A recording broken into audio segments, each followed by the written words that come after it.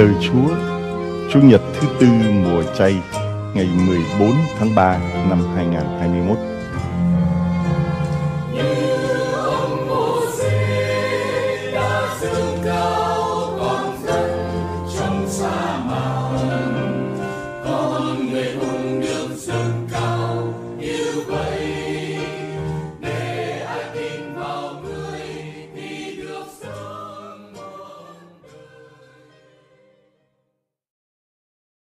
Lời Chúa Chủ nhật thứ tư mùa chay ngày 14 tháng 3 năm 2021 Thưa anh chị em Sáng nay gặp một số à, các bạn đi lễ Thấy mặc áo màu hồng phấn khởi quá, cười tươi. Nói à, cô Hà, cô Phụng, cô Phương gì đó Mấy cô hôm nay sao mặc áo hồng đẹp thế? Bảo cha không biết là bảo biết cái gì. Hôm nay con thấy các cha mặc áo màu hồng Con mặc áo màu hồng và ông đã đang mùa chay mà. Thưa cha tại vì thứ tư mùa chay Thì được mặc áo màu hồng. À thấy mấy cô mặc áo dài hồng tha thiết hồng phấn hồng đỏ hồng hồng nhạt gì đó. Còn uh, cô Loan thì áo màu hồng đó rồi. Rồi cha hôm nay con mặc áo jean. Quần jean thì con phải mặc uh, áo thun màu hồng. Chứ nghĩa hay quần jean thì mặc áo, áo, áo, áo dài thì không coi được.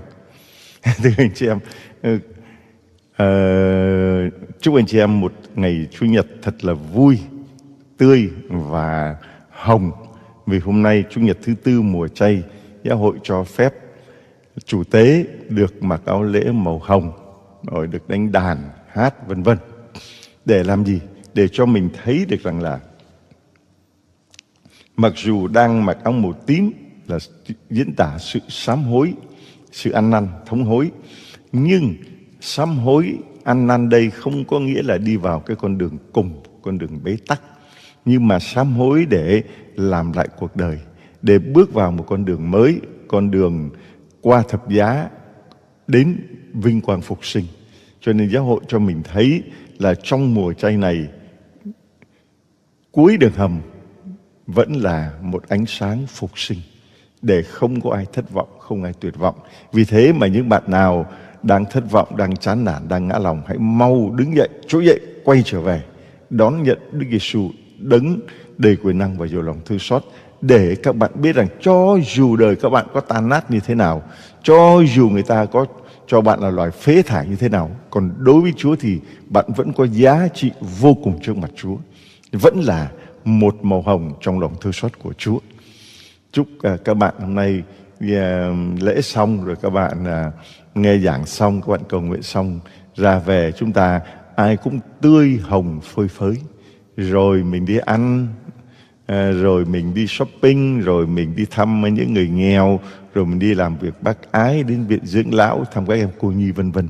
Phải làm cho ngày chủ nhật thứ tư màu chay màu hồng này mang một ý nghĩa là tôi đem niềm vui hạnh phúc đến cho những người khác nhất là những người đau khổ những người bất hạnh. Được không các bạn? Được không mấy cô áo hồng kia? Rồi vậy nhé. bây giờ chúng ta cùng uh, cầu nguyện để anh chị em mình đang ở trong hai cái buổi thứ nhất là buổi tĩnh tâm mùa chay từ ngày thứ tư lễ cho 17 tháng 2 sẽ kết thúc vào Chủ nhật lễ lá. Chúng ta có 40 ngày trong mùa chay thánh.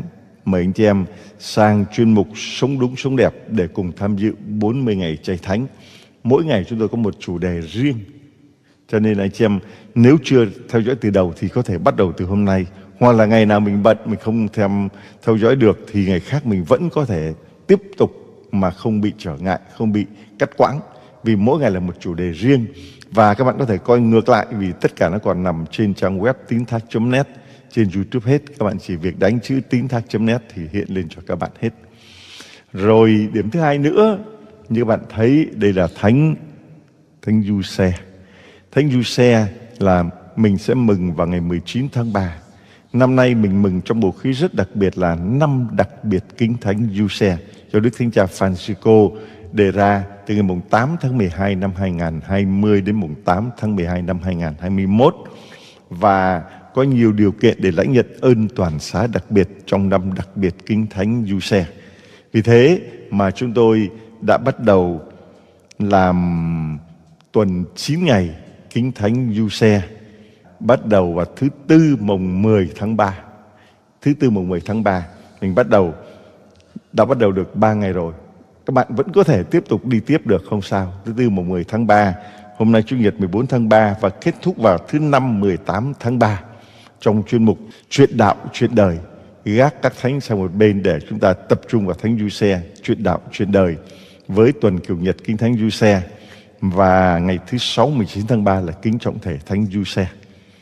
Các bạn cầu nguyện để có nhiều người tham dự những ngày tĩnh tâm tháng tĩnh tâm chay 40 ngày và tuần Kiều Nhật Kính Thánh Du Xe 9 ngày.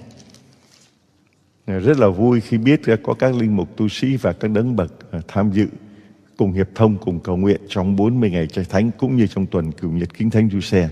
Cái điều đó làm cho chúng con cảm thấy rất là vui, rất là sung sướng vì thấy những người chủ chăn um, nằm giữa đàn chiên của mình như là Thánh cha Francisco nói chủ chăn có khi đi đầu, có khi đi cuối và có khi ở giữa đàn chiên các đấng đang cùng với chúng con ở giữa đàn chiên để xin Chúa Thánh Thần soi sáng hướng dẫn trong 40 ngày cho thánh và trong tuần kiểu nhật kinh thánh Giuse. xe. Giờ đây chúng ta cùng nghe lời Chúa ngày Chủ nhật thứ tư mùa chay. Năm B, bài đọc 1 trong sách sử biên niên quyển thứ hai chương 36 câu 14 đến câu 16, câu 19 đến câu 23. Bài trích sách sử niên biên quyển thứ hai khi ấy tất cả các thủ lãnh của các tư tế và dân chúng mỗi ngày một thêm bất trung bất nghĩa học theo thói ghê tởm của chư dân và làm cho nhà Đức Chúa đã được thánh hiến ở Jerusalem ra ô uế. Đức Chúa Thiên Chúa của tổ tiên họ vẫn không ngừng sai sứ giả của người đến cảnh cáo họ vì người hằng thương xót dân và thánh điện của người nhưng họ nhạo cười các sứ giả của Thiên Chúa, khinh thường lời người và chế giễu các ngôn sứ của người, khiến Đức Chúa bừng bừng nổi giận mà trừng phạt dân người đến vô phương cứu chữa. Quân Cande đốt nhà Thiên Chúa, triệt hạ tường thành Jerusalem, phóng hỏa đốt các lâu đài trong thành và phá hủy mọi đồ đạc quý giá. Những ai còn sót lại không bị gươm đâm thì vua bắt đi đầy ở Babylon. Họ trở thành nô lệ của vua và con cháu vua cho đến thời vương quốc Ba Tư ngự trị. Thế là ứng nghiệm lời Đức Chúa phán qua miệng ngôn sứ Jeremia rằng cho đến khi đất được hưởng bù những năm sa bát và suốt thời gian nó bị tàn phá, nó sẽ nghỉ cho hết 70 năm tròn. Năm thứ nhất, thời vua Kiro trị vì nước Ba Tư, để lời Đức Chúa phán qua miệng ngôn sứ Jeremia được hoàn toàn ứng nghiệm. Đức Chúa tác động trên tâm trí Kiro vua Ba Tư. Vua thông báo cho toàn vương quốc và ra sắc chỉ như sau. Kiro vua Ba Tư phán thế này, Đức Chúa Thiên Chúa trên trời đã ban cho ta mọi vương quốc dưới đất Chính người trao cho ta trách nhiệm tái thiết cho người một ngôi nhà ở Jerusalem tại Judah. Vậy ai trong các ngươi thuộc dân của người thì xin Đức Chúa Thiên Chúa của họ ở với họ và họ hãy tiến lên. Đó là lời Chúa. Thank you.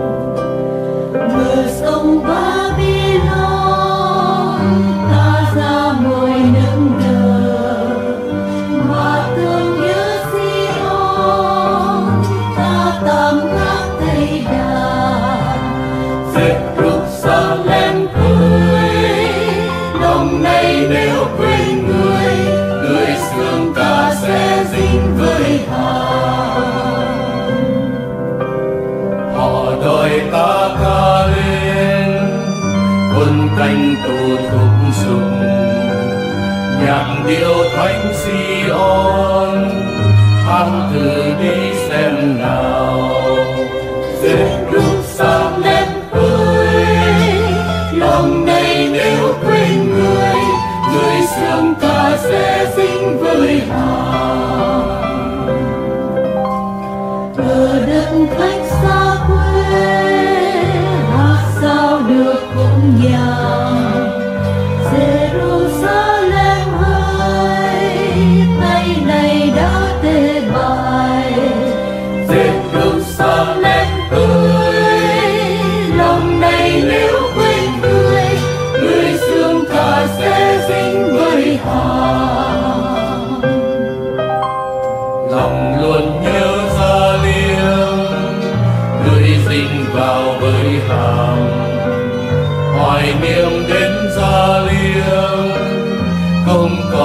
còn vui cầm hồn Jerusalem ơi lòng này nếu quên người người xương ta sẽ dính với hà.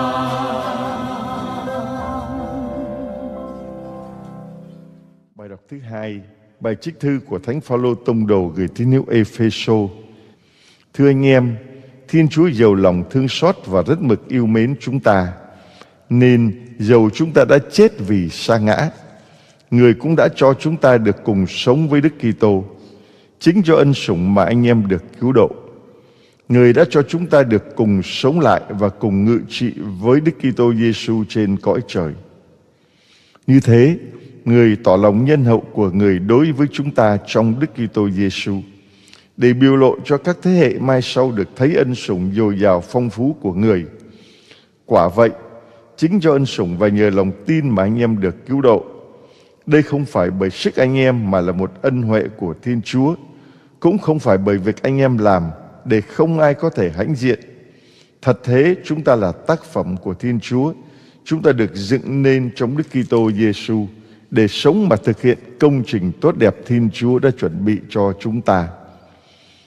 Đó là lời Chúa.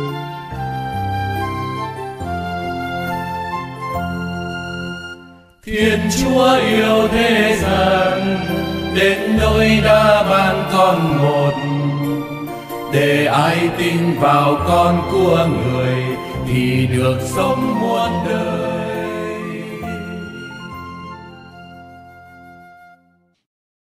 Mình, chị em mở tin mừng Chúa Giêsu Kitô theo Thánh Gioan, chương 3 câu 14 đến câu 21. Tin mừng Chúa Giêsu Kitô theo Thánh Gioan.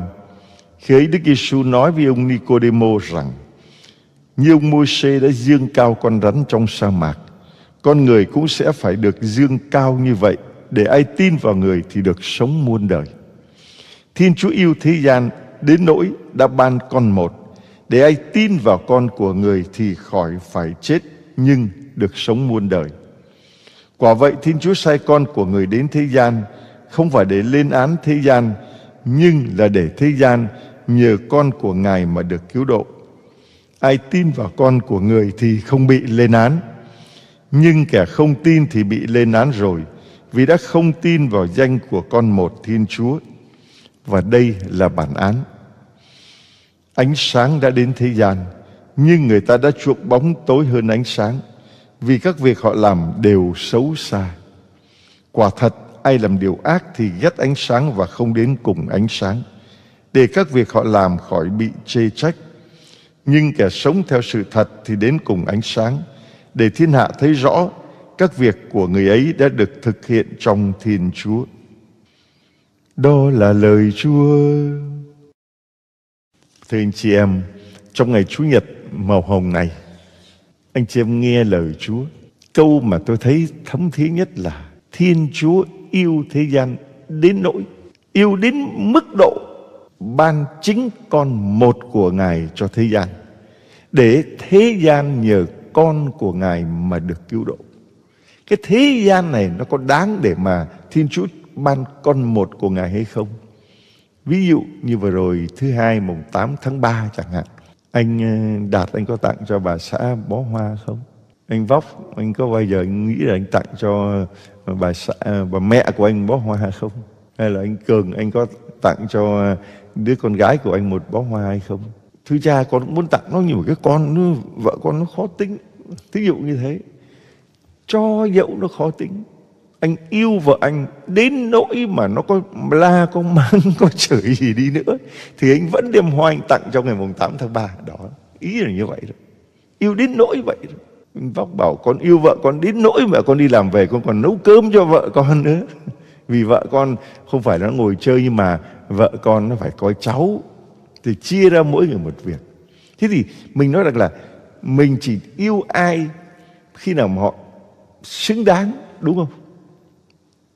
Mẹ ngoan đi rồi mẹ thưởng. Thường là chúng ta vẫn nói với con mình, mà cái điều đó làm cho con mình thấy rằng tình yêu luôn có điều kiện ngoan mình ngoan đi là mẹ thưởng giống như chị hai đó chị hai học giỏi đó ba à, thưởng cho chị hai đó. Cái đứa bé này nó bảo vậy thì nếu nó, nếu nó không học giỏi thì nó có được bố mẹ thương hay không? À. Thế không? Cái tình yêu của chúng ta là tình yêu có điều kiện. Cho dù bố mẹ nói như vậy để mà khích nhưng mà cái khích đó làm nhiều khi cái đứa mà nó học dốt nó bị mặc cảm. Là bố mẹ chỉ thương đứa học giỏi mà thôi rồi, mày không có ngoan á, bố không có thương đâu. Đó, em mày nó ngoan như vậy còn mày, chúa tôi cha cái thằng này nó hư lắm. Tôi nói, sao lại cứ đi tố cáo tội nó trước mặt tôi để làm cái gì vậy? Nhưng mà trai cầu nguyện cho nó, thằng nó cứng đầu, cứng cổ lắm. Cầu nguyện chứ không phải tố cáo tội hả nha? Có những người đi xin tôi cầu nguyện mà toàn đi tố tội thôi. Trai chồng cầu chồng con chúa tôi Giêsu nó phá phách mà nó đại xỉ ke ma túy, nó khô khan nguội lạnh lắm chị đang xin cầu nguyện hay là ra ra trước tòa án để mà tố tội chồng chị đấy, chị em thấy không? Đó thường là tình yêu của chúng ta vẫn bị giới hạn. Là tôi chỉ yêu nếu nếu và nếu mà thôi. Còn đây cho dẫu mà không điều kiện. Tình yêu không có if nhưng mà mặc dầu although mặc dầu là như thế mà vẫn thương thương đến nỗi mà sướng cái câu đó đó cho nên cái màu hồng nói lên, cái tình yêu của Thiên Chúa nó tươi, nó hồng giọt máu hồng từ trái tim của Đức Giêsu Kitô đổ ra chúng ta thấy tấm hình, lòng thương xót tấm hình lòng thương xót Ngài chỉ vào trái tim, nhưng mà không có để trái tim lộ ra. Ai mà vẽ hình lòng thương xót, Chúa mà để trái tim lộ ra là không có đúng rồi. Là mình ờ, làm ờ, gọi là phăng rồi. Mất cái nguyên bản. Nguyên bản là Chúa Giêsu bảo Faustina vẽ là như con thấy như thế nào thì con vẽ như vậy. Rồi Chúa coi lại coi được không. Và vẽ là Chúa chỉ vào trái tim. Trái tim nằm bên trong. Nhưng mà hai tia màu đỏ và màu trắng, tượng trưng con nước và máu đổ ra, yêu đến nỗi mà giọt máu cuối cùng trong trái tim cũng đổ ra hết đọc nhìn vào hình lòng thương xót của Chúa để hiểu được chữ yêu đến nỗi. Yêu đến nỗi. Và như vậy thì không ai có lý do gì để mà nói rằng tôi không quay về với Chúa vì tôi tội lỗi tôi thế này thế kia. Có một anh viết, mới viết thư cho tôi. Thì ra đây là bản thú tội của con. Con là một cái thằng tội lỗi, Con không xứng đáng vân vân và vân vân. Từ 18 tuổi con đã thành công Và con làm có tiền. Mà vì thế mà con bỏ con không học đại học. Mẹ con đặt hy vọng vào con Nhưng mà con thấy lúc giờ con làm ăn có tiền Rồi con vung tiền ra Con càng làm tiền càng nhiều tiền càng nhiều tiền. Rồi Ta gọi là vung tay quá chán mà. Vì đó Thuyền lớn thì sóng lớn Càng làm ăn lớn thì càng gặp khó khăn. Mà mình không biết dừng lại Mình lại muốn vớt, muốn vớt, muốn vớt Lại bể nợ. Mượn vào nhiều quá, Không có cái gì chi ra Thì thì không có thu vào thì phải bể nợ thôi. Gia đình lại trả nợ dùng Rồi cứ làm ăn lên, Lại đi hứa với Chúa. Rồi còn được đi hành hương đến tận Jerusalem, Đến tận đất thánh. Tại lúc đó làm đại gia có tiền. Nhưng mà rồi đại gia cũng đi viếng đất thánh xong rồi về, chẳng thấy thánh đâu cả. Lại lao vào đi tìm tiền thôi. Và cứ như thế, bây giờ thì giấu giếm mọi người. Giấu giếm mọi người. Nhưng mà giang hồ nó đến nó đòi giấu làm sao? Rồi nhân viên trong công ty mình nó đến đòi giấu làm sao? Và bố mẹ, gia đình thì không thể nào có khả năng trả được nữa. Và bây giờ nói rằng con là đứa con khốn nạn, con, bây giờ con không muốn gì cả, con chỉ muốn là con trở về một cuộc sống bình thường thôi. Nói sao mà ngon thế? Sao lúc mà bình thường sao không sống bình thường đi? Thấy không? Lúc mình bình thường mình làm ra vừa vừa đó thì đó là bình thường đó thì không sống bình thường.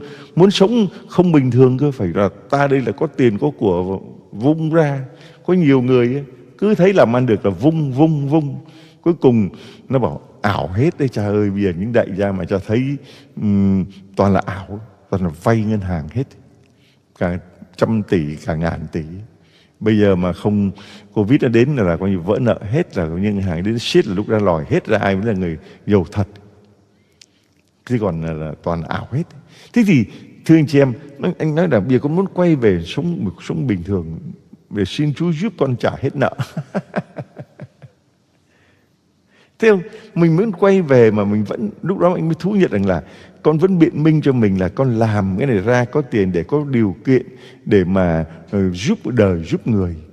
Nhưng mà bây giờ thực sự con mới nói rằng đấy chỉ là cái chiêu bài thôi, giúp đời giúp người. Nhưng mà thực sự là cái tham vọng cá nhân của mình chỉ muốn làm có tiền để mà thỏa mãn cái tham vọng cá nhân của mình mà thôi.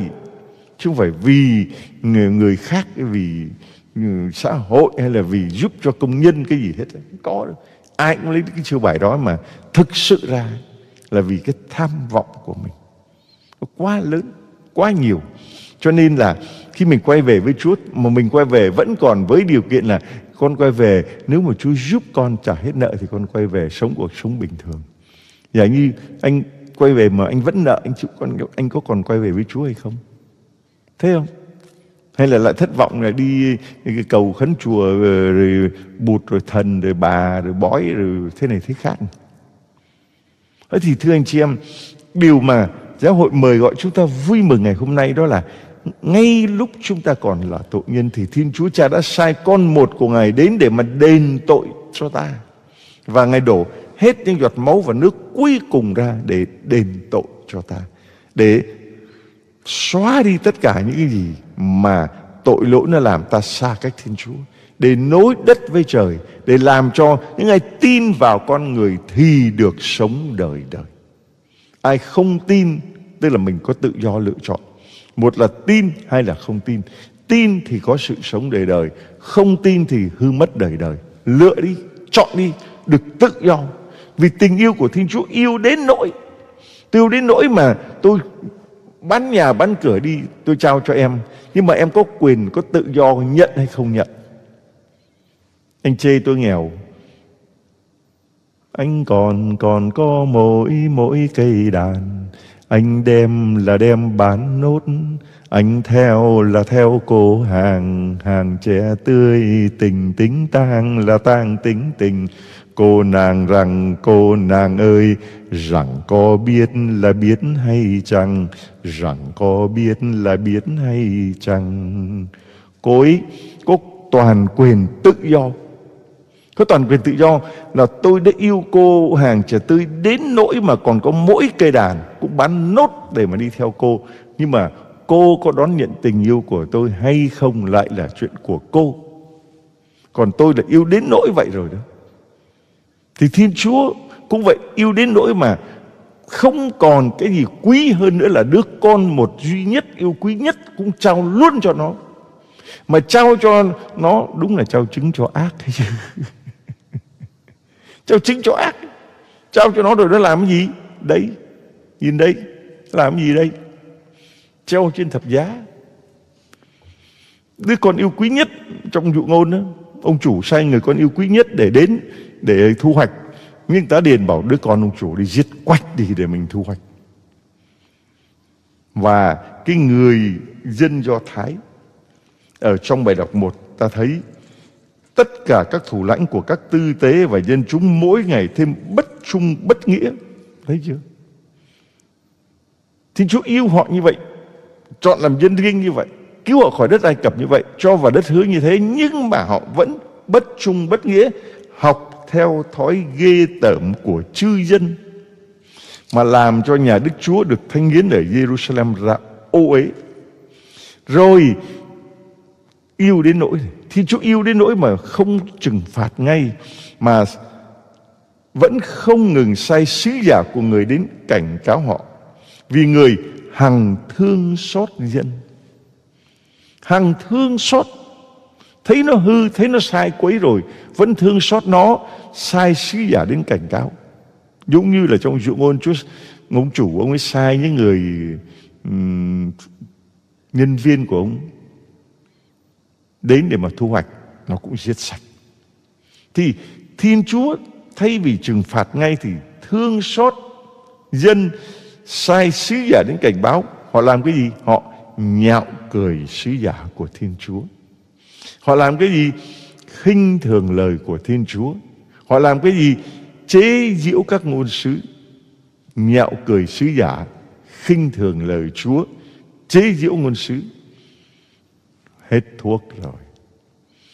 Thương nó cỡ đó mà nó còn không chịu nữa. Sai con một đến để mà thu hoạch, nó giết luôn con của mình rồi thì ông chủ bừng bừng nổi giận và sai, lính đến tiêu diệt cái bọn ta điền này.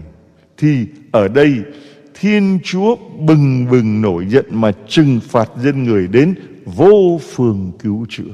Quân căn đê đốt nhà thiên chúa, triệt hạ tường thành, phóng hỏa lâu đài, phá hủy mọi đồ đạc quý giá những ai còn sót lại không bị gươm đâm thì vua bắt đi đầy trở thành nô lệ của vua. Chúng ta thấy cơn thịnh nộ của thiên chúa đấy. Giờ của lòng thương xót qua đi giờ của sự công thẳng phải đến. Và ngày hôm nay cũng thế thôi. Thiên chúa yêu thế gian này đến mức độ mà sai con của ngài đến nói với Faustina, Chúa Giêsu hiện ra với Faustina, nói rằng con hãy đi loan truyền lòng thương xót của ta đi. Trước khi giờ công thẳng của ta đến thì nó muốn cho tất cả mọi người được hưởng nhờ lòng thương xót của ta trước. Để họ có cơ hội quay trở về. Còn nếu đến ngày mà công thẳng, ngày phán xét cuối cùng, ngày tận thế đó, thì giờ của lòng thương xót chấm dứt. Lúc đó giờ của sự công thẳng. Lúc đó mọi người sẽ phải trả lẽ trước mặt Thiên Chúa một cách công bằng, không có nhân nhượng, không có du di gì cả. Không có cơ hội để mà quay trở về, giống như anh chàng kia, còn cơ hội để quay trở về. Hết cơ hội rồi. Vì thế mà Chúa sai Faustina đi nói với tất cả mọi người rằng hãy quay về với lòng thương xót. Và Thánh Giáo Hoàng John Paul nói rằng là, Thánh Giáo Hoàng John Paul II tông đồ của lòng thương xót nói rằng, vì ngoài lòng Chúa xót thương không còn nguồn hy vọng nào không còn nguồn hy vọng nào. Quay về đi. Nếu không thì y như là những người dân do thái ngày xưa, chúa đã thương xót họ, đã đủ tìm đủ mọi cách, sai các sứ giả đến để mà cảnh cáo. Họ không nghe thì chớ lại khích, nhạo cười sứ giả, khinh thường lời chúa và chế giễu các ngôn sứ. Và chúa bừng bừng nổi giận mà trừng phạt dân đến vô phương cứu chữa. Ngày hôm nay khi chị em mình đi loan báo lòng thương xót của Chúa, có khi người ta cũng nhạo cười.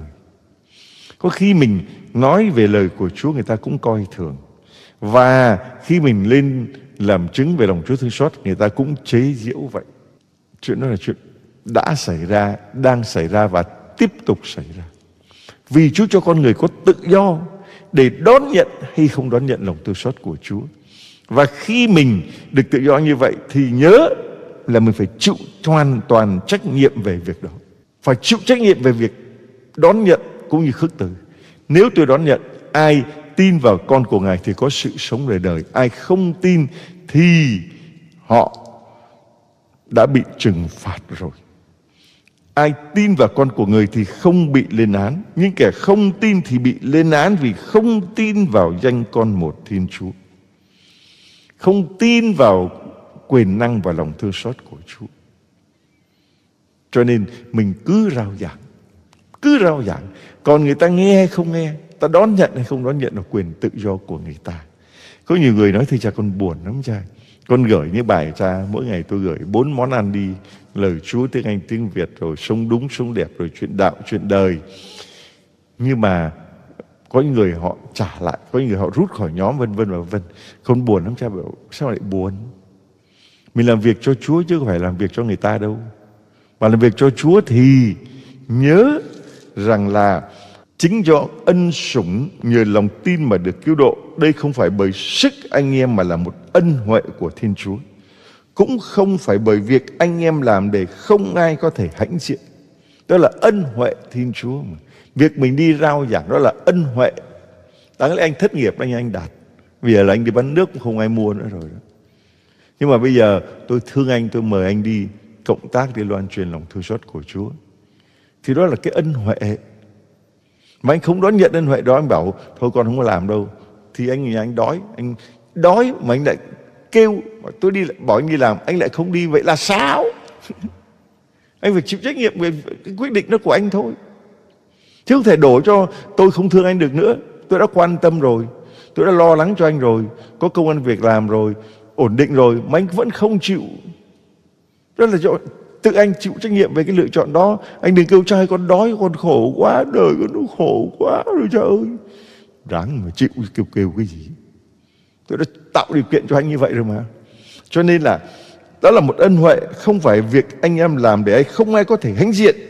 Chúng ta là tác phẩm của thiên chúa. Chưa? Mặc áo hồng đi chứ còn gì nữa. Vui lên chứ đâu phải cứ màu tím buồn mãi được. Đâu phải Huế của ta ơi, Huế của ta rồi cứ Huế buồn mãi được. Huế không phải có lúc Huế vui chứ Huế. Chúng ta là tác phẩm của Thiên Chúa, mọi người soi gương mình đi. Tôi là tác phẩm của Thiên Chúa, chứ tôi có phải là tác phẩm của con người đâu. Con người muốn khen, muốn chê gì, chuyện của con người. Còn tôi là tác phẩm của Thiên Chúa, chính Thiên Chúa là dựng nên tôi. Mà Thiên Chúa dựng nên thì Ngài dựng nên mọi sự đều tốt đẹp. Mọi sự đều tốt đẹp. Cho nên khi mà chúng ta thấy mình được dựng nên trong Đức Giêsu Kitô, ai muốn nói gì nói. Tôi là con của Chúa, tôi đẹp, tôi vẫn cứ đẹp. Tôi là con của Chúa, tôi đẹp, tôi vẫn cứ đẹp.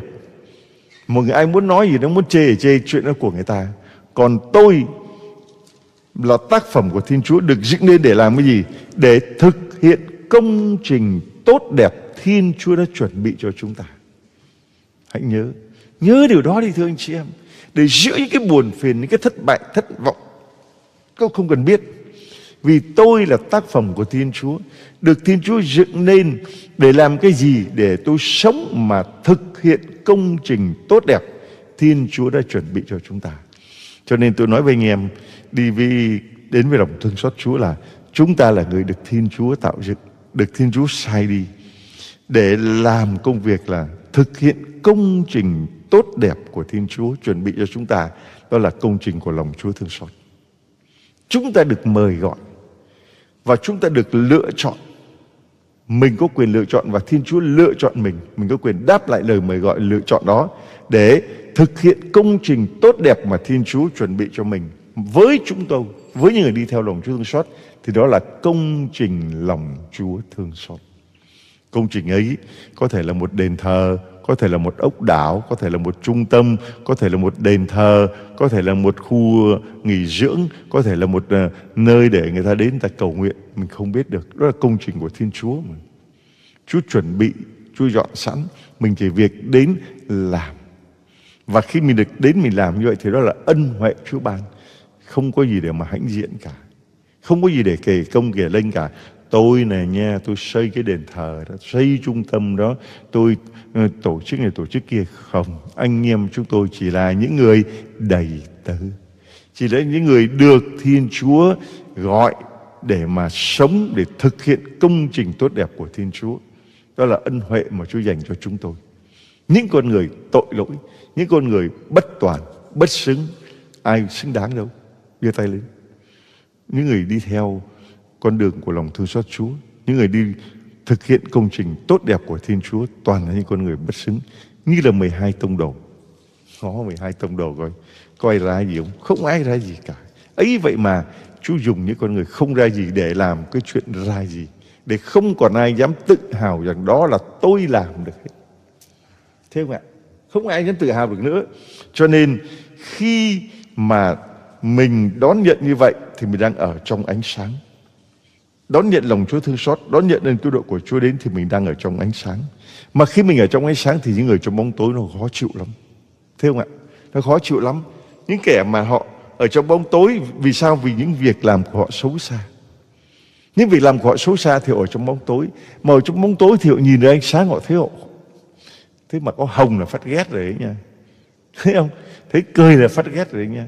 Thế nó giang tay cầu nguyện ngứa mắt rồi đấy nha Thấy nó đi làm lòng thương xót Chúa Rồi đi đi công tác bác ái Rồi nó uh, loan truyền lòng thương xót Chúa Hư xót với rồi thương thương gì Nó ghét lắm ấy chứ không phải không đâu Và chính vì họ đang ở trong bóng tối cho nên họ việc làm của họ xấu xa. Ai làm điều ác thì ghét ánh sáng, thấy chưa? Chúa nói nữa. Cho nên tôi nói với những anh chị em là mình đi đằng trong suốt Chúa đó thì mình bị người ta nói xấu nơi hành đó thì đó là chuyện bình thường. Đừng có buồn làm cái gì, đừng có bận tâm làm cái gì cả. Vì ai làm điều ác thì ghét ánh sáng và không đến cùng ánh sáng để các việc làm của họ khỏi bị chê trách.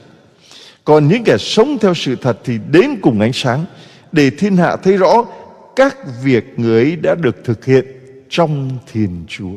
Tất cả những gì chúng tôi làm trong công cuộc, công trình, lòng thương xót Chúa là chúng tôi làm trong Thiên Chúa. Vì chúng tôi được Chúa mời gọi để thực hiện công trình của Thiên Chúa mà thôi. Amen.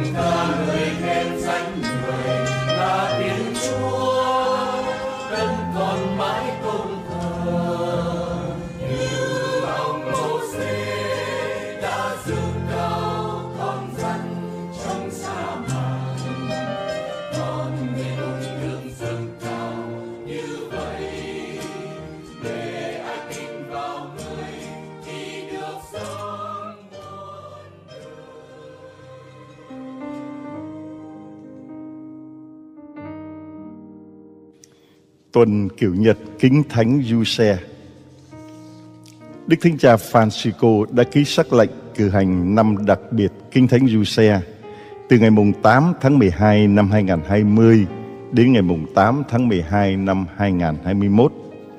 Trong năm này, người công giáo có cơ hội để nhận ơn toàn xá đặc biệt. Ơn toàn xá giải trừ mọi hình phạt tạm thời do tội lỗi gây ra.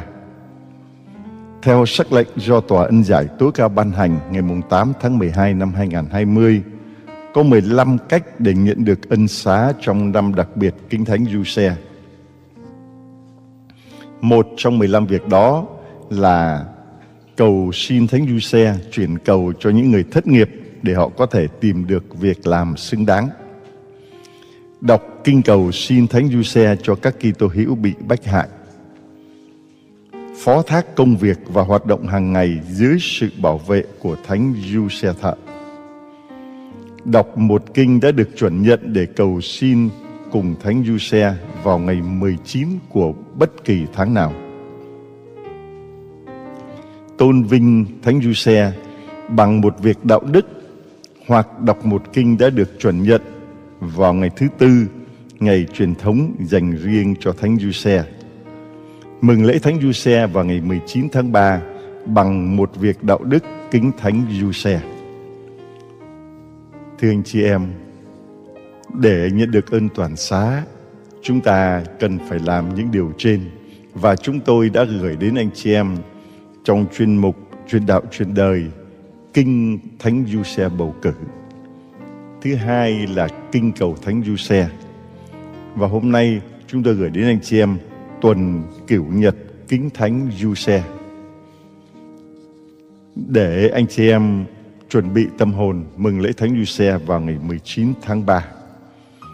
Tuần cửu nhật kính thánh du xe được bắt đầu từ thứ tư mùng 10 tháng 3 năm 2021 đến thứ năm 18 tháng 3 năm 2021 và ngày thứ sáu 19 tháng 3 lễ kính trọng thể Thánh Du Xe. Bây giờ mời anh chị em chúng ta cùng bắt đầu bước vào tuần cửu nhật kính Thánh Du Xe. Tuần cửu nhật kính Thánh Du Xe ngày thứ năm trong tuần cửu nhật Chủ nhật 14 tháng 3 2021. Thưa anh chị em, chúng ta đang ở trong tuần cửu nhật kính Thánh Du Xe từ ngày thứ tư mùng 10 tháng 3 sẽ kết thúc vào ngày thứ năm 18 tháng 3. Mỗi ngày, chúng ta sẽ bắt đầu bằng việc cầu nguyện xin Chúa Thanh Thật. Thứ hai là cầu nguyện chung trong tuần kiểu nhật. Thứ ba là suy niệm. Thứ bốn là lời cầu nguyện. Thứ năm là mời kinh lòng thương xót. Thứ sáu là hát bài kinh thánh du xe. Và thứ bảy là lời nguyện và phép lành kết thúc. Giờ đây mời anh chị em chúng ta cùng tha thiết nài xin Chúa Thánh Thần đến thánh hóa cộng đoàn chúng ta trong ngày thứ năm tuần kiểu nhật kính thánh du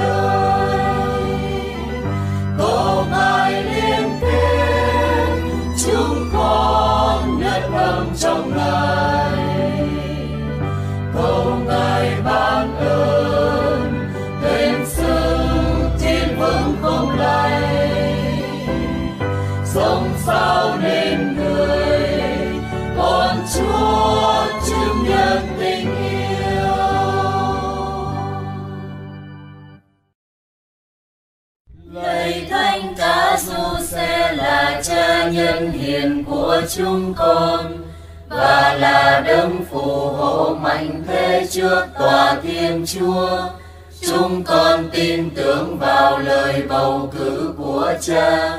Trong tuần cứu nhật này, xin cho tất cả chúng con luôn nhìn vào mẫu gương của cha, mà biết đặt tất cả những lo âu cơ cực của đời mình vào bàn tay nuôi dưỡng chăm sóc và quan phòng của thiên chúa xin cầu cùng chúa ban cho chúng con luôn trọn niềm tin thác vào lòng chúa thương xót để chúng con vượt qua mọi khó khăn thử thách và trung thành yêu mến Chúa luôn mãi.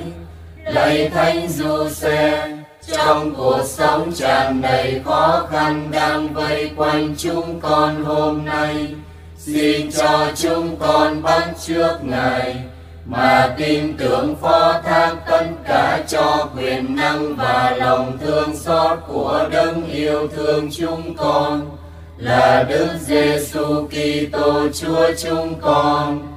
Amen.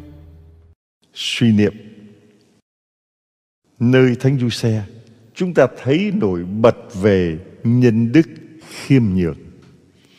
Thuộc dòng dõi David trong anh Thế Việt Nhưng Du Xe sống hết sức khiêm tốn, bình dị với nghề mộc tại ngôi làng Nazareth. Là cha nuôi của đấng cứu thế nhưng ngài không vinh vang hãnh diện về sứ mạng cao cả của mình.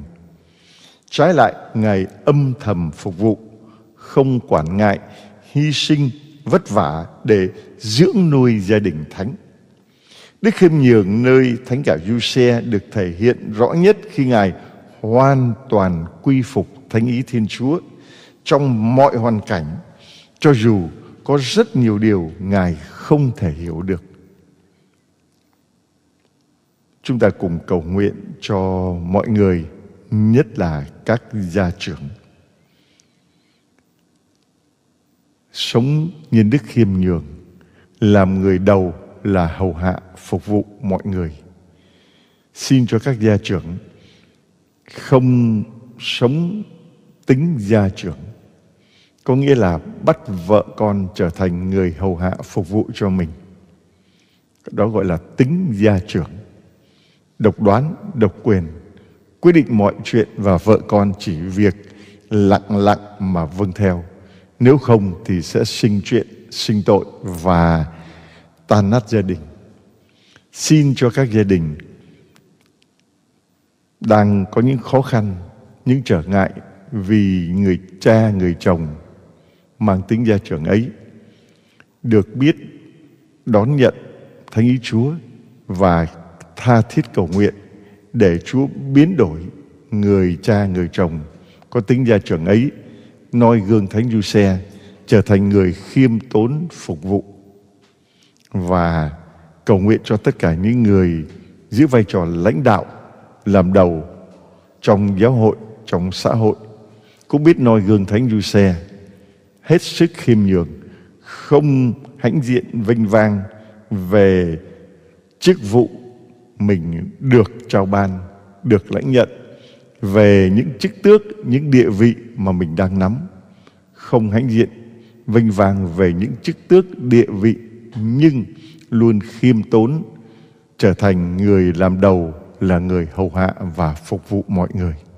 Theo gương thánh du xe lạy thánh cả du xe là đấng rất khiêm nhường, xin giúp chúng con biết noi gương ngài, sống khiêm tốn và hy sinh để đem lại niềm vui cho những người chúng con gặp gỡ. Xin giúp chúng con dám loại trừ tính kiêu căng ích kỷ ghen tương đố kỵ để cuộc sống này bớt đi những khổ đau. Đặc biệt Xin giúp chúng con biết khiêm tốn đón nhận thánh ý Chúa, ngay cả khi điều đó không hợp với ý riêng của chúng con. Lạy Thánh cả Du Xe, nếu đẹp lòng Chúa và ích lợi cho linh hồn chúng con, xin ban cho chúng con ơn riêng. Chúng con kêu cầu Thánh cả trong tuần cửu nhật này. Xin cho chúng con luôn tin tưởng phó thác tất cả cho quyền năng và lòng thương xót của đấng yêu thương chúng con là Đức Giêsu Kitô Chúa chúng con. Amen. Vì mùa khổ nạn đau thương của Chúa Giêsu Kitô, xin Cha thương xót chúng con và toàn thế giới. Vì mùa khổ nạn đau thương của Chúa Giêsu Kitô, Xin Cha thương xót chúng con và toàn thế giới.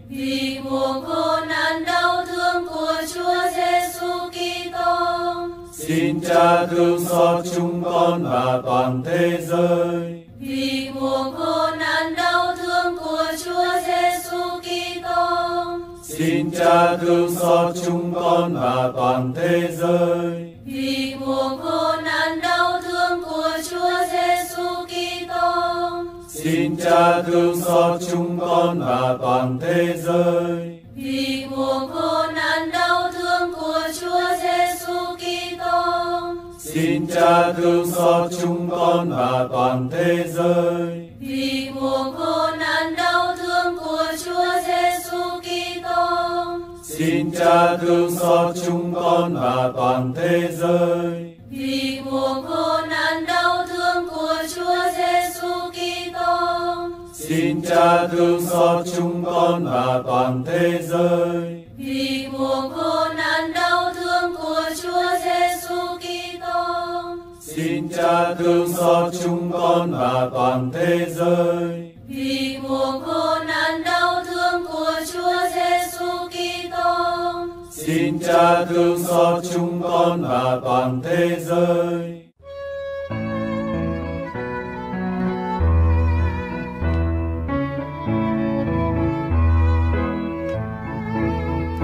nguyện xin thánh ca du xe quyền cao sang đầy đang no đầy ơn phúc trên ngài vàng cứu rỗi chúng con tê trần lâm than.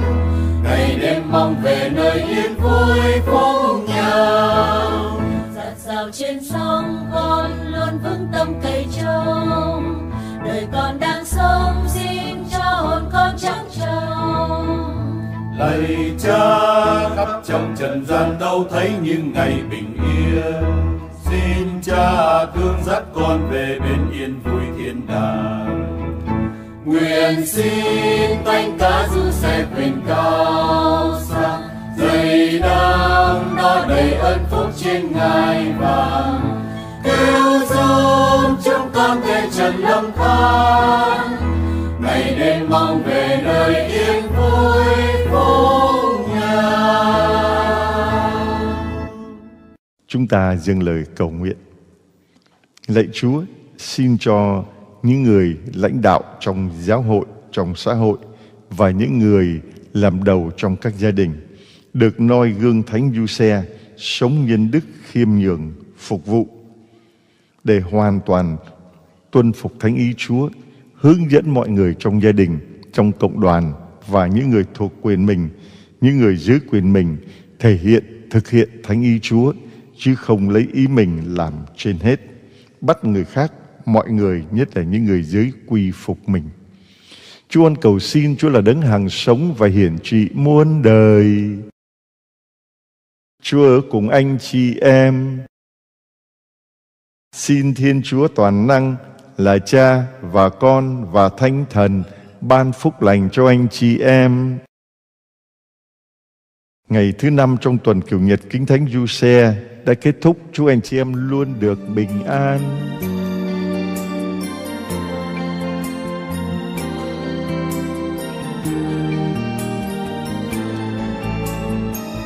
Sống đúng, sống đẹp.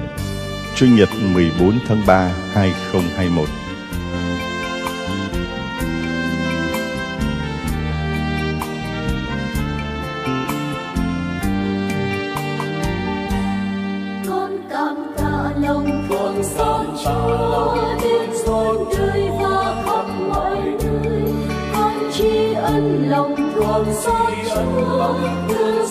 Giờ và đến muôn đời.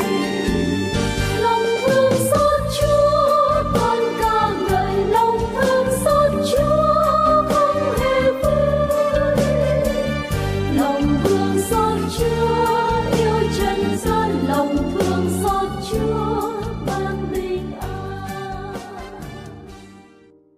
Sống đúng, sống đẹp. Chủ nhật 14 tháng 3 2021. Ba chú khỉ. Thưa anh chị em, chúng ta đang ở trong tháng tĩnh tâm chay với 40 ngày chay thánh.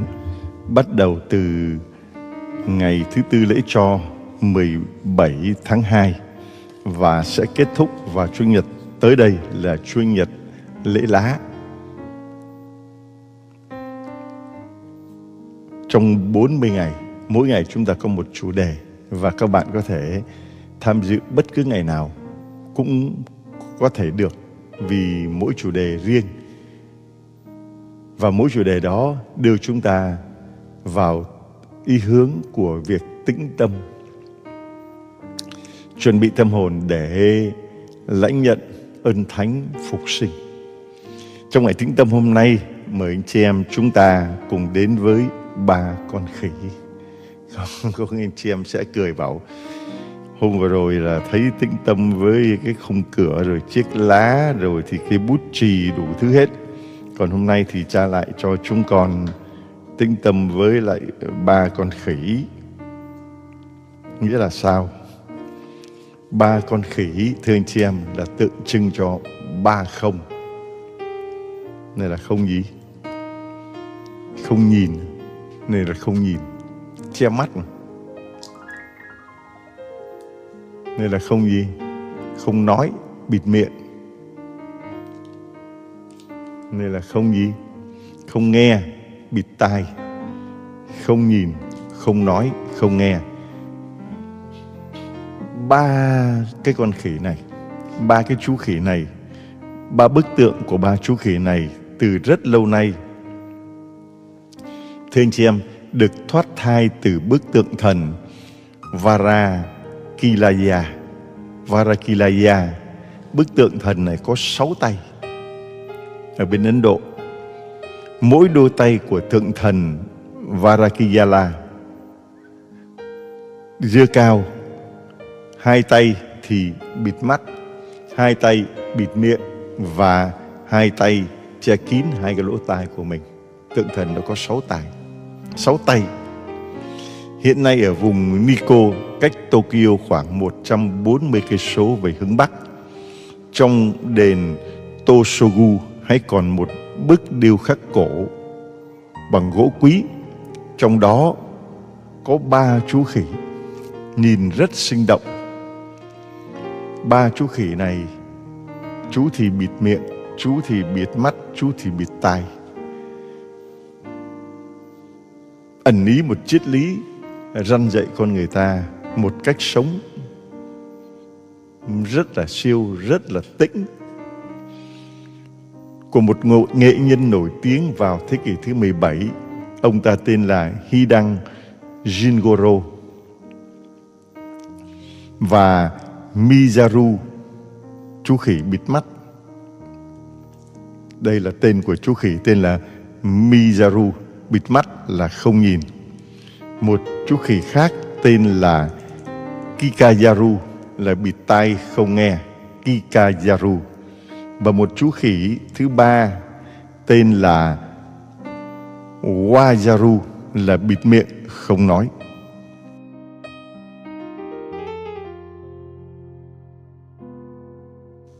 Phía sau của ba chữ không nhìn, không nghe, không nói. Chúng ta thấy có hai nguyên âm và hai phụ âm đứng gần nhau, kết thành âm đôi là Zaru. Zaru khi phát âm lại giống chạy chạy với Saru, mà Saru có nghĩa là con khỉ. Có tên có hình con khỉ là vì như vậy. Thế là từ đó hình ảnh của ba con khỉ mới được lên ngôi, làm biểu tượng khuyên răn con người. Khuyên người ta nên nhìn khi cần phải nhìn. Nên nói khi cần phải nói và nên nghe khi cần phải nghe. Nghe, nhìn, nói ba cách hành xử trong tháng tĩnh tâm chay này. Mình đem mình kết hợp với lòng thương xót của Chúa thì thật là tuyệt. Vì đây là ba cách ta thể hiện lòng thương xót đây. Nói khi cần nói là thương xót. Không nên nói khi không cần nói cũng là thương xót. Nghe để hiểu, để cảm thông là thương xót. Không nên nghe, không cần nghe cũng là thương xót. Vì nghe nói xấu nghe làm gì? nhìn để cảm thông để hiểu là thương xót anh nhìn xót thương của Chúa đó mà Phêrô mới ăn năn trở lại sau khi chối Chúa đó. mà nhìn những cái gì không nên nhìn nhất là nhìn những khuyết điểm của người khác nhìn những điều không xứng hợp thì nhìn làm gì không nghe không nhìn không nói ba không đó là thể hiện lòng thương xót mà hôm nay ngày thứ 26 trong 40 ngày tĩnh tâm, chúng tôi mấy anh chị em và đặc biệt các bạn trẻ. Ngày Chủ nhật rảnh rỗi, mấy anh chị em nhìn ba con khỉ này. Tôi tuổi khỉ, trong tôi có đủ hết ba cái thằng này.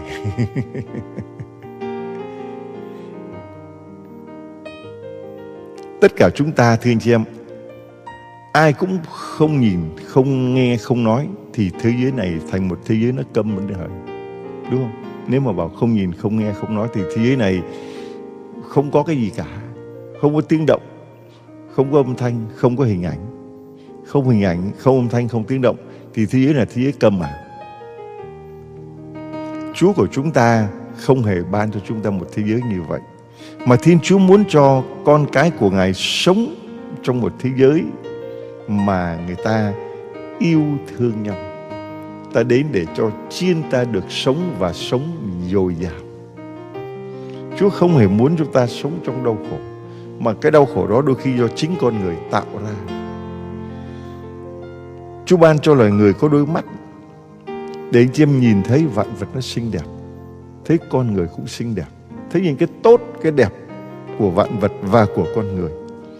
Chúa ban cho mình có đôi tai để mình nghe những điều hay lẽ phải, nghe được những âm điệu ngọt lịm của thinh không, nghe được tiếng nói của con người, nghe để mà cảm thông được với con người. Và nhất là một buổi chiều tản mạn cuối tuần ngồi bên ly cà phê mà nghe những điệu nhạc tuyệt vời. Thích nhạc trịnh thì nghe nhạc trịnh, thích nhạc ờ, Vũ Thành An thì nghe Vũ Thành An, thích nhạc không lời nghe nhạc không lời. Trong những buổi tĩnh tâm nhiều khi chúng tôi không có làm gì khác là ngoài mở cái điệu nhạc rất là nhẹ. Thánh ca nhẹ nhẹ không lời, người ta lại thấy lắng. Rồi Ngài ban cho mình cái đuôi có cái miệng mình, miệng mình để ăn, những thức ăn phù hợp để cho mình được phát triển. Và có đôi môi để nói ra những lời tốt đẹp, êm ái, ngọt ngào, giúp cho cái xấu trở nên tốt và tốt thì càng tốt hơn. Thế nhưng mà, ở bất cứ nơi đâu mà càng tập trung nhiều người quyết chí sống đời thanh thiện thì nơi đó là nơi hấp dẫn đối với ma quỷ anh chị em để ý rồi. Càng nhiều người mà tập hợp nhau lại, mà tĩnh tâm, mà cầu nguyện, rồi lần chuỗi mân côi, lần chuỗi lòng thương xót, rồi nghe chia sẻ lời Chúa, thì nơi đó là nơi hấp dẫn đối với ma quỷ. Vì ma quỷ nó như con thú, nó ngửi thấy cái mùi, nó lao tới. Còn cái chỗ ăn chơi, cờ bạc, rượu chè, xì ke, ma túy, đĩ điếm, các thứ, vốn là thế giới của ma quỷ rồi ma quỷ đâu cần thích gì nữa. Nên anh chị em tưởng tượng mình cũng vậy, cái gì nằm trong tầm tay mình mình có cần phải đi tìm kiếm gì nữa không? Không. Cái trong tầm tay mình mình kiểm soát được rồi, bây giờ mình muốn đi tìm cái gì đó mà nằm ngoài tầm tay kiểm soát của mình thì ma quỷ nó cũng vậy. Mà cái mà nằm ngoài tầm kiểm soát của ma quỷ là những cái việc đạo đức, là những con người đang tập sống đạo đức. Là những người con người đang tập sống thánh thiện thì ma quỷ nó tìm mọi cách để nó lôi kéo những con người đó vào trong cái thế giới của nó, vào trong vòng tay của nó. Cho nên, ma quỷ sẵn sàng len vào những con người không vững đức tin để biến con người đó trở thành công cụ sắc bén cho chúng. Cho nên, ngày hôm nay ta thấy ma quỷ nó lộng hành quá. Lộng hành ở những con người mà không có đức tin hoặc là đức tin kém và nhất là sự hiểu biết nó quá non nớt rồi bị ma quỷ nó dùng những phương tiện truyền thông nó kích động tôi mấy hôm nay tôi mấy anh chị em cứ gửi đến tôi những cái video clip trừ quỷ ấy, rồi tiếng nói sự thật ấy. anh chị em tôi nói là anh chị em tuyệt đối không được phép phát tán những video mà giáo hội đã không chấp nhận, không cho phép, không được phép. Vì, thưa anh chị em, những video đó, ma quỷ nó tinh vi lắm. Nó dùng những lời lẽ rất là hợp lý, rất là logic. Nó đưa những bằng chứng rất là thuyết phục để nó làm cho chúng ta mê lầm lạc lối. Rồi nghe đức tin không vững, hiểu biết không có đầy đủ, nghe cái thế là xuôi tai mình. Đó, đúng rồi đó. Vậy là nó có lý đó. Tại sao đức cha lại xử như vậy? Tại sao lại bất công như thế? Tại sao thế này? Tại sao thế này? Người ta làm tốt mà thế này thế kia. Thế không? Ma quỷ nó tinh vi lắm. Rồi từ đó mình mới dễ kết án giáo hội, kết án các đấng các bậc, kết án đấng thẩm quyền là bất công, là độc quyền, là độc tài, độc đoán. Ma quỷ nó dùng những cái từ cách rất là khéo mà những người bình dân, những người nhẹ dạ mà ngay cả những người mà cũng là trí thức đó, mà lại dùng cái sự trí thức của sự hiểu biết con người, lý luận của con người. Cho nên là dễ đi theo rồi. Cứ vậy mà đi phát tán những cái video đã bị giáo hội kết án rồi, bị giáo hội loại trừ rồi, mà chính họ cũng muốn tách rời khỏi giáo hội rồi. Không muốn sống trong giáo hội nữa mà Chúa nói là trên đá này ta xây hội thánh của ta. Chúa có xây hội thánh nào khác nữa đâu mà mình ra ngoài cái hội thánh Chúa xây dựng rồi mình bảo rằng mình thuộc về Thiên Chúa là thuộc về thế nào? Như vậy thì Chúa mâu thuẫn với chính Chúa, Ngài dựng nên hội thánh rồi Ngài dựng nên một cái hội thánh ngoài hội thánh nữa là sao? Thiên Chúa không thể nào mâu thuẫn với chính mình được. Cho nên những cái gì ngoài luồng, ngoài hội thánh thì chúng ta phải cẩn thận. Cái gì sách, ảnh, báo chí, bất cứ cái gì mà được giáo hội chấp nhận, được giáo hội cho phép thì ta cứ làm. Còn những cái gì mà chưa hoặc là không hoặc là bị giáo hội cấm thì đừng có đụng tới. Đừng đụng tới. Nhất là những cái video cứ trừ quỷ mà cứ đưa lên nguy hiểm vô cùng. Nguy hiểm vô cùng. Vì nó muốn chứng tỏ rằng người ta có quyền Vậy thì người ta không cần giáo hội Nguy hiểm lắm Mà Đức Thánh gia Francisco nói là cái hay, cái tuyệt vời của loài ma quỷ Là chúng làm cho chúng ta Không hề biết Chúng chính là ma quỷ. Cái hay của ma quỷ là Làm cho mình tưởng rằng đang làm cho Chúa Đang làm cho sự thật Tiếng nói của sự thật. Đó là cái khéo nhất của ma quỷ Tinh vi. Tại vì nếu mà nó lòi cái đuôi nó là ma quỷ thì chẳng ai theo. Giống như là mình bị cám dỗ Tiền mình có thấy quỷ đâu. Mùi tiền ngon chết đi chứ. Phải không? Chứ mà là ma quỷ nó cầm tiền nó dơ dơ chắc chẳng ai đụng đến. Hoặc là những cô gái đẹp chẳng hạn. Ma quỷ đâu hiện hình thành, Hồi xưa tôi có hình ảnh cái ma quỷ là đen xì nhưng mà có cái đuôi. Xong rồi miệng nó đỏ lòm, Mắt nó trợn trừng lên. Vậy thì ai theo nó? Mà ma quỷ nó đẹp, Nó ngọt ngào, Nó êm ái, Nó dịu dàng. Mình không nhận ra nó là ma quỷ, cái đó mới là thứ quỷ thật. Thế không ạ? Mình tưởng là sự thật, là chân lý. Vì nó hỏa mù mà. Chứ nếu nó bảo đây là tiếng nói của ma quỷ đây thì ai mà tin, ai mà nghe. Bảo đây là tiếng nói của sự thật. Thế mới chết người đó. Thế mới chết người đó. Mà phá hoại giáo hội một cách rất là tinh vi. Mà nhiều người theo, cứ vậy mà đẩy còn cãi. Tôi nói không được, còn ra miệng lên cãi là chứng minh đâu là ma quỷ. Ma quỷ nó làm sao cho nó lòi cái đuôi ra để mình chứng minh chứng minh nó là ma quỷ được. Thế không? Nó hay ở chỗ đó đấy. Cho nên hôm nay mình tĩnh tâm mình nhìn vào đôi mắt của mình. Đôi mắt của tôi trừ cái giờ nằm ngủ mắt nó nhắm. Nó cần mở to để nhìn bên này, để ngó bên kia. Nếu nhìn không rõ, nó sẽ làm cho mình hiểu không đúng, nhìn định sai. Cho nên mình phải điều chỉnh mình lại để cho cái tầm nhìn của mình nó rõ hơn. Xa quá không thấy được thì phải tiến lại gần.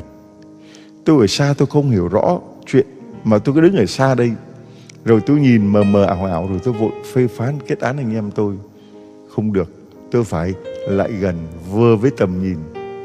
Để tôi nhìn cho rõ. Nhìn cho rõ, và khi nhìn cho rõ rồi, thì tôi mới hiểu cho đúng.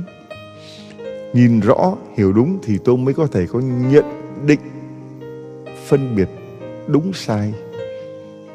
Bóng tôi ánh sáng như thế nào? Và khi tôi nhìn thì điều đầu tiên trong những ngày tĩnh tâm này anh chị em hãy tập nhìn người khác bằng ánh mắt mà Chúa nhìn mình đi. Tập đi. Đừng nhìn người khác để mà soi mói chuyện của người ta. Có những người luôn luôn là rình mò, ngó, đi đâu thì liếc ngang liếc dọc, đúng không? Lúc nào cái cặp mắt cú vọ cũng muốn soi mói vào chuyện riêng của người khác như là chuyện đời tư của người ta. Mỗi người có trách nhiệm về cuộc đời của họ. Đâu cần mình phải cứ đưa cái mắt mình soi mói nhìn vào Thôi chứ có bịt mắt lại thì. Rồi những cái điều mà nó bày ra nó cám dỗ mình Nhất là những phương tiện truyền thông bây giờ Những phim, những hình ảnh Nó khiêu dâm, nó gợi dục Nó làm cho mình dễ bị kích động cũng phải bịt mắt lại. Rồi con mắt của tôi, hãy nhìn người khác bằng cái nhìn bằng hữu hơn là cái nhìn hận thù. Thường là những người nào mình thích thì mình nhìn với ánh mắt thiện cảm. Người mình không thích thì mình nhìn bằng ánh mắt ác cảm. Như vậy đã công bằng chưa? Chưa.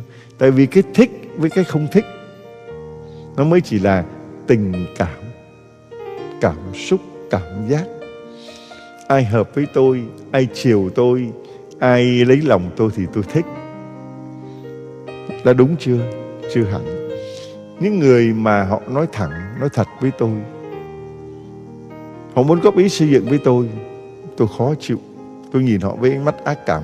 Như vậy đã đúng chưa? Chưa đúng. Cho nên, tĩnh tâm, anh chị em hãy tập bịt mắt lại, không nhìn những cái gì không cần nhìn nhất là những cái khuyết điểm người khác. Người ta đưa đến cho mình những cái hình ảnh không tốt, không hay, không đúng, bịt mắt lại. Bịt mắt lại để không cần thấy những cái mình không nên thấy. Và làm sao đó để thấy được những cái cần phải thấy. Mình nhìn thì chỉ có nhìn được hiện tượng mà không thấy được bản chất. Nhìn anh, tôi thấy anh là người tướng này, chắc bà trợ lắm đây tôi cứ nhìn đến bên ngoài không à. Tôi không nhìn được cái bên trong. Xin chúa cho mình có cái nhìn bên trong. Bịt mắt lại trước những cái bên ngoài thì thấy được cái bên trong. Bịt mắt lại để mình không có bị những cái bên ngoài nó chi phối mình. Mới thấy được bên trong. Còn tôi cứ nhìn, thấy cô ấy đẹp quá. Wow wow, mê mẩn rồi, mắt hoa luôn rồi, có thấy gì nữa đâu. Bỏ đưa tiền là đưa thôi bảo gì là làm theo thôi. Bị tình cảm nó chi phối rồi. Mà tình cảm nó chi phối là bởi cái nhìn bên ngoài nó chi phối mình. Thế không ạ? Khi đó cái lý trí mình không còn sáng nữa. Cho nên cần bịt mắt để không bị những cái bên ngoài nó chi phối. Để thấy được cái bên trong đó. Tĩnh tâm là tập cái đó đi.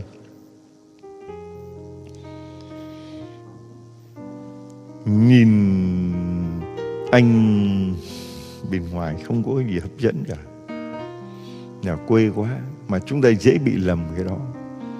Có lần ờ, tôi đi dặn lòng Chúa thương xót xong, đông quá rồi đi ra, mà thấy một cái người chị em mặc quần áo thì quê mùa, đi chiếc xe đạp, cứ thập thà thập thò. Thì cái ánh nhìn của mình là, chắc là người này muốn xin cái gì đây? Lại muốn xin giúp đỡ đây. Thì tôi mới đứng lại nói, sao chị, tôi cần giúp đỡ thì chị nói, lẹ lẹ, anh, tôi phải đi giờ, tôi còn đi về có trễ giờ nếu mà gặp người mà dễ thương người đẹp mình có nói vậy không? Không sao không sao đâu còn nhiều giờ lắm cứ ngồi nói chuyện đi có gì chia sẻ với cha. Còn đến nghiệp mình nhìn người ta với ánh mắt cái bên ngoài mình đánh giá. Thôi tôi không có thời giờ đâu nói lẹ anh tôi còn đi. Mình nghĩ là thôi mình cứ móc bóc ra đưa cho người ta một vài trăm. Nói thưa cha không con không có cần cha giúp gì. Với thôi thì chị đứng đây làm gì đó? Và thưa cha con muốn ờ, mà muốn cái gì? Dạ, thưa cha con muốn dừng cái xe đạp. Tôi giật mình để làm gì vậy?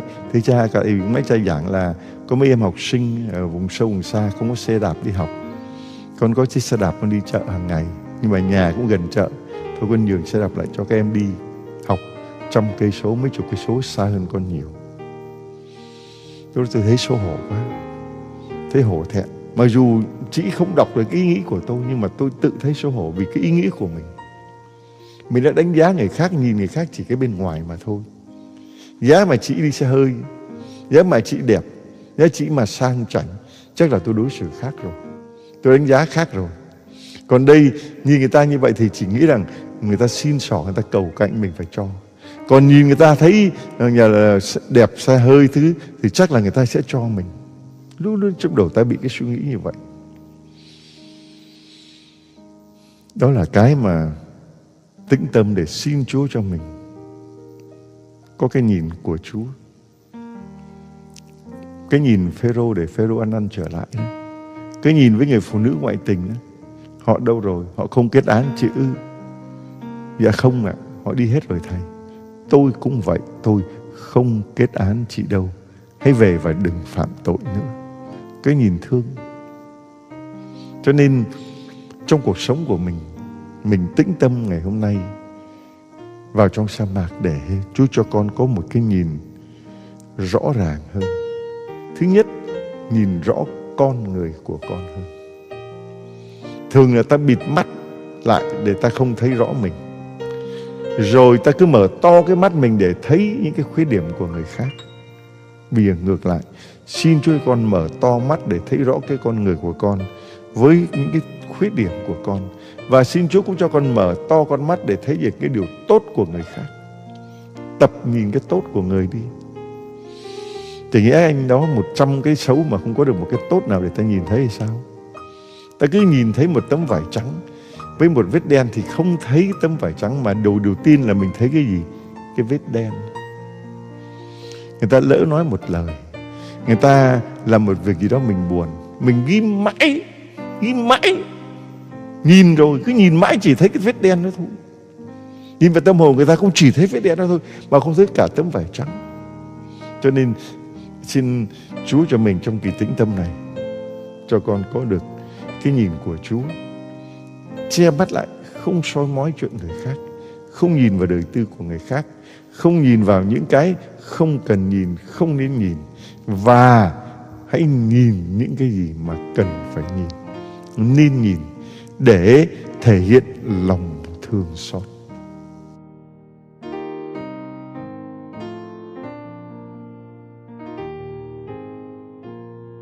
Bà có bài hát thì chờ cho ông có đôi mắt để gì đó, bài hát đôi mắt.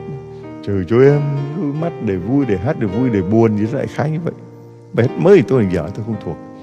Rồi, thưa anh chị em, tới ông khỉ thứ hai, ông bịt đôi tai lại.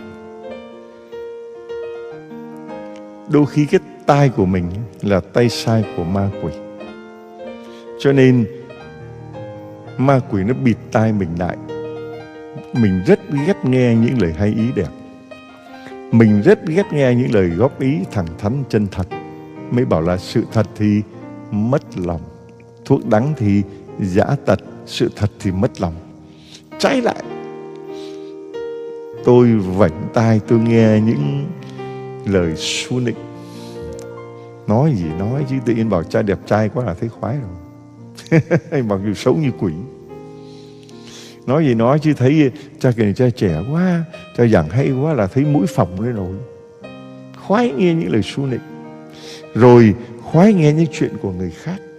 Chuyện người ta tám mà. Chuyện người ta nói xấu nhau, người ta phê bình chỉ trích mình khoái nghe lắm, đúng không? Ồ mày biết ông cha long không? Trời ơi, ông cha đó, tôi biết rồi. Ờ sao sao sao? Coi ông sẽ nào nói tôi nghe coi. Thấy không à? khoái nghe chuyện người khác lắm. Mà chuyện xấu thích nghe hơn chuyện tốt. Chuyện xấu thích nghe hơn chuyện tốt. Cứ như vậy, sao? Rồi bắt đầu mình tám thêm vào. Cái đó là chúng ta sẽ nói về cái con khỉ thứ ba là bịt miệng. Còn đây là bịt tai. Để đừng nghe những chuyện xấu người khác đừng nghe những lời tám là bàn tán. Mà Đức Giáo Hoàng nói là cái tội sầm xì là cái tội mà phá hoại đời sống cộng đoàn nên bịt tai lại đừng nghe.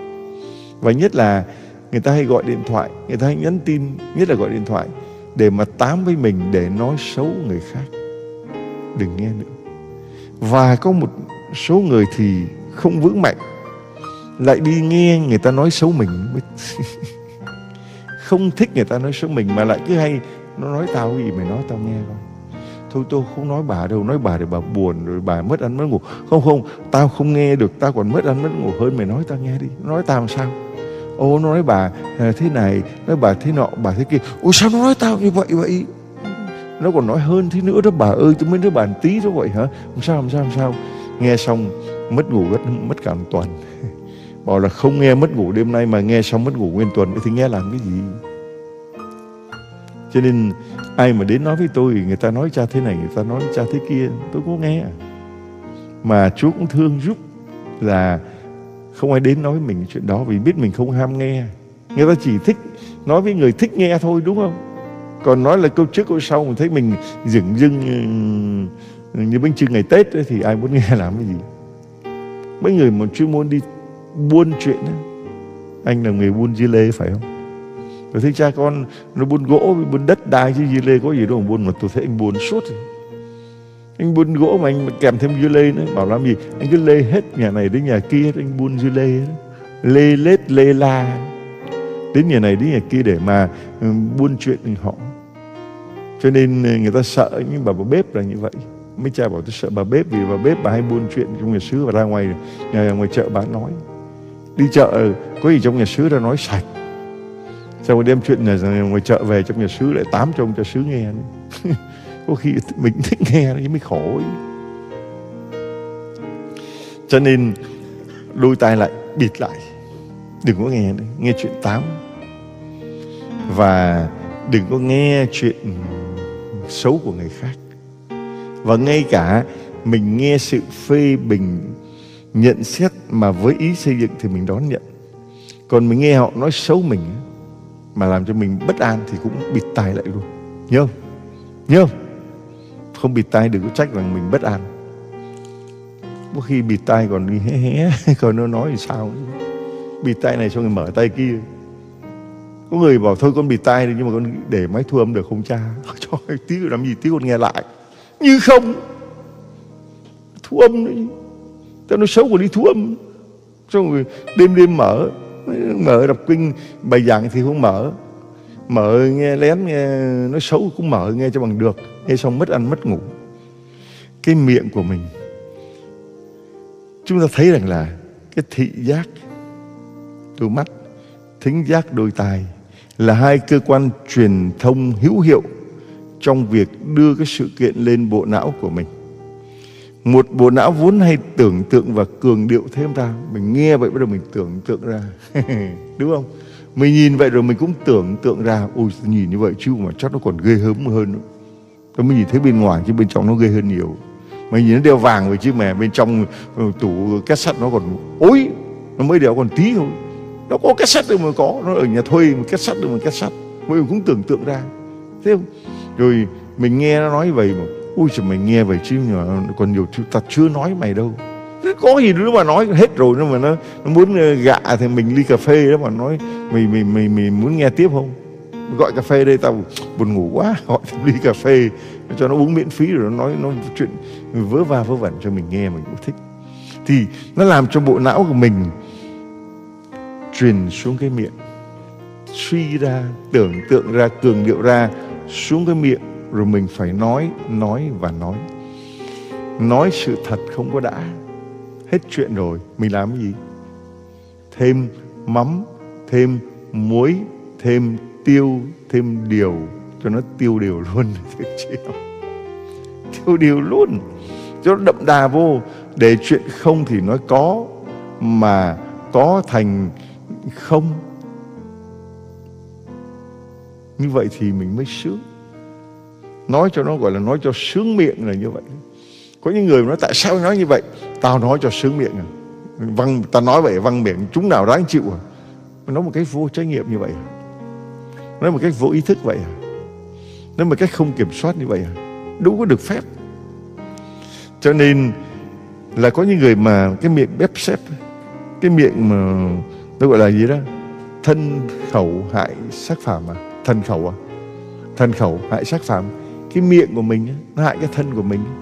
Có người nó bị đánh cho vêu mõm, vêu mỏ lên, cái miệng cứ nói là bếp ba, bếp xa bếp xếp cái miệng nói lung ta, lung tung. Không cần nói cũng nói, không nên nói cũng nói. Không ai hỏi cũng nói. Nó đánh cho vêu mỏ lên là vậy. Vêu mỏ lên mà vẫn chưa chữa mà đánh cho đầu quá, mà có thằng khốn nạn nó đánh cho đầu quá. Nó đánh thêm cái nữa vêu mỏ vẫn chưa chưa vẫn cứ phải nói mày là cái thằng khốn nạn mày bắt nạt tao. Lại tán cho thêm mấy cái nữa, lại vêu mỏ lên. Nó không chịu chừa. Cứ thích nói. Thế là đi nói xấu người khác thì đã lắm Sứ miệng lắm. Cho nên là không ai đến với những con người mà, gọi là, hay nói xấu người khác, hay phê bình người khác, hay chỉ trích người khác. Trăm tội là bởi cái miệng nó ra đúng không? Các cộng đoàn cũng vậy bị chia rẽ bị bất hòa bị phân tán cũng bởi cái miệng của một thành viên nào trong cộng đoàn nó nói ra. Có ít thì xít ra nhiều không thành có có thành không. Rồi nó tưởng tượng ra đủ thứ để nó nói khốn nạn chỗ đó đó. Nó tưởng tượng ra mình phạm tội như thế nào để nó nói luôn. Nó cứ như thử là nó nó nó, nó đi sát bên cạnh mình. Nói cái chuyện mình không tưởng tượng sao lại có như thế đó mà nó giỏi tưởng tượng lắm. Mà tưởng tượng toàn cái điều xấu thôi cái tốt xong tưởng tượng đi. Mà, mà coi vậy anh chị em thấy mà cái thằng đó nó nó nó nó kỳ lắm sao vậy? Nó toàn nói tốt cho tôi thôi. Có ai như vậy không? Ít lắm. Mà chúng ta gặp các thằng gặp ai nó cũng nói xấu. Gặp ai nó cũng phê bình. Ai nó cũng chỉ trích. Còn mình ít khi mà gặp một người bảo ông này ông hay lắm. Ông toàn nói tốt cho tôi hiếm vô cùng. Thấy không? Ông này ông ít nói lắm mà ông nói cái gì là đúng cái đó. Nói gì là phải chính xác ông mới nói. Đó, như vậy đó. Tĩnh tâm là như vậy đó. Nói cái gì cần nói nói cái gì nên nói. Mà nói thì phải nói chính xác, nói có sách, mách có chứng. Chúng ta đôi khi mình nói những lời kết án, những lời nhận xét mà không có bằng chứng, chưa nắm được bằng chứng, chưa coi tận mắt chứ bắt tận tay, mà mình đã vội nói rồi, đã vội lên án rồi, đã vội kết án rồi, đã vội loại trừ người ta rồi. Bằng chứng đâu không có, mà cũng không cho phép những người dưới mình có quyền được nói tiếng nói của sự thật. Tiếng nói đúng như là những gì họ đã sống, họ đang sống, không cho người ta nói. Cho nên là tôi cứ nói có nhiều lần muốn nói, nhiều lần tinh nói, nhưng đến sau cùng thì mình không nói. Phải tập như vậy. Có nhiều lần tinh nói, nhiều lần muốn nói, nhiều lần xem nói, nhưng đến sau cùng thì mình quyết định không nói. Vì nói làm gì? Có khi gì vì nói là chết, mà chết thì mình không ham thì nói làm chi? Mình có làm gì cho cam? Thôi nói làm gì? Có nhiều lần tính nói, nhiều lần muốn nói, nhiều lần xem nói, nhưng đến sau cùng thì mình quyết định không nói. Tập như vậy, tĩnh tâm nữa. tập như vậy đi thưa anh chị em.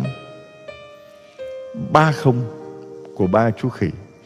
Tôi cứ đặt này lên mặt bàn à, làm việc người ta hay để ba này lên bảo cha đặt ba ông, ông thầy chùa này làm gì bảo đâu có ba thầy chùa nó nhìn kỹ thôi. Ông bịt mắt ông bịt tay ông bịt miệng. Cái gì cần nói cần nghe cần nhìn thì để nói nghe nhìn. Còn cái gì không thì bịt lại không nên nói không nên nghe không nên nhìn. Cho nên chú khỉ mà bịt mắt không nhìn thì dạy mình là cái gì cần phải nhìn thì nhìn mà nếu đã nhìn thì nhìn bằng ánh mắt của lòng thương xót, ánh mắt của Chúa xót thương. Từ đó, mọi chuyện dù có xấu cũng được từ từ hóa giải cho nó tốt hơn lên. Có cái nhìn thương xót có cái nhìn ờ, từ tâm đi, có cái nhìn trong sáng đi, có cái nhìn rõ ràng đi. Có gì không cần, không nhìn nữa. Và chú khỉ Kikajaru bịt tai không nghe. Dạy mình biết lắng nghe với tinh thần trân trọng mọi sự. Nghĩa là lấy lương tâm ra mà phân biệt tốt xấu phải trái. Hoặc là mình nghe những cái gì mình cần phải nghe để học hỏi hiểu biết. Và nghe những cái gì mà làm cho mình bấn loạn, làm cho cái gì mình bất an thì chịu khó đừng nghe nữa bịt tai lại đi. Thực ra con buồn, con bất an lắm. Con nghe người ta nói thế này thế này, thế kia. Anh nghe nói làm cái gì? Mà con không muốn nghe nhưng mà nó cứ cứ nghe.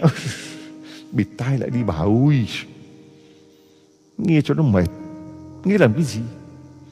Nó nói lung ra lung tung, nó huyên thuyên. Nghe nó bực lắm thì bịt tai lại đi. Nghe mà như không nghe. Có những lúc tôi ngồi, anh muốn nói gì nói kệ. Tôi như là không nghe vậy. Tôi đang suy nghĩ về chuyện khác còn anh nói chuyện của anh. Nên lịch sự ngồi im vậy thôi. Thế không ạ? Lịch sự thì ngồi im thôi, không phản kháng nhưng mà không nghe gì cả rồi bịt miệng không nói. Cái chú khỉ mà qua Zaru này, bịt miệng không nói. Cái gì cần nói thì nói, cái gì nên nói thì nói, cái gì buộc nói phải nói thì chết cũng nói. Mà cái gì không được phép nói thì chết cũng không nói. Như là tội ân tín tội cáo giải chẳng hạn. Bây có dí súng, tôi vào cổ bảo là, nói ra khoa nó vừa mới xưng tội gì vợ khoa đến đưa tôi bạc tỷ nói ra anh khoa, anh vừa mới xin tội gì với cha. Chết thì chết, không nói. Còn tôi nói với những người mà cấm, tôi, chúa gọi tôi, nói về lòng thương xót Chúa. Thì anh có kê súng và màng tang, anh cấm tôi nói, tôi vẫn cứ nói cần phải nói thì nói. Loan truyền lòng thương xót Chúa, loan tin mừng làm chứng cho lòng thương xót Chúa thì giá nào tôi cũng nói. Chết tôi cũng nói. Mà nếu nói mà vi phạm ân tín tòa cao giải, nếu nói mà làm cho những người khác bị mất phẩm giá, mất tiếng tốt, thì nói làm gì? Có những người muốn nói để hạ người khác xuống, để đưa mình lên nghĩ là như thế. Nhưng mà khi anh càng nói xấu người ta bao nhiêu thì anh càng hạ thấp giá của anh bấy nhiêu. Những người nghe họ cũng gật gà gật gù. Nhưng mà họ nói rằng là, anh đã nói xấu người khác trước mặt tôi, thì anh cũng sẽ có thể nói xấu tôi trước mặt người khác vậy. Vì anh là người buôn dư lê mà. Thấy không? Mình đừng nghĩ rằng là khi mình hạ người khác xuống mà cách mình nói những điều xấu của họ, mình phê bình chỉ trích người đó mặc dù họ không có mặt mà cái tệ nhất là người ta không có mặt. Bảo tại sao mình nói xấu thằng vắng mặt. Thì mày nó vắng mặt mới dám nói chứ mẹ nó có mặt nó như vỡ mỏ.